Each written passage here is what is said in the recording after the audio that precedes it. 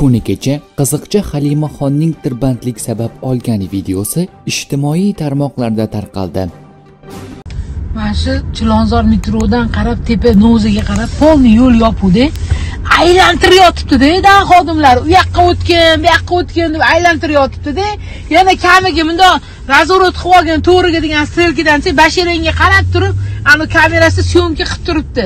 Vijdoninglarni ham qo'shib orzu havasinglarni ertaga dam oladigan kuninglar dacha xarajatlaringlarni ham qo'shib sho'pirlardan undirib yuboringlar. To'g'ridan aliyev tilla magazinni to'g'risida turib razворотda turgan militsiya xodimi borku o'sha butun toshkentni aylanyaptimizda uyga o'tolmasdan chilonzorga yo'q lekin sizlar kameranglarni olib olinglar mashinada syomka qilib turinglar to'g'rimi? Ani qo'yningdan qo'ngingdan tushgani qo'yningada unaqasiga ham uringlar bunaqasiga ham uringlar. Молодец sizlar sizlar hozirgi istoriyam bilan nima demoqchiman? To'g'ri znak to'g'riga. Biz razvorod qilyapmiz nimagami? Aylanib yurganimiz uchun qilyapmiz siz videoga olmasangiz ham hurmatli dan xodimi kamera bo'lsa shundoq ham yuziga chiroyli xatlar keladi izhorlar keladi. Biz to'laymiz pulini xavotir olmang lekin o'sha paytda ozgina ko'z yumib xalq o'ylasangiz bo'ladi qator tolga haydayotsalarda qator tolni to'rtta beshta svetofor pik bo'lib turibdi. Hamma ishdan qaytadigan payt bo'lsa.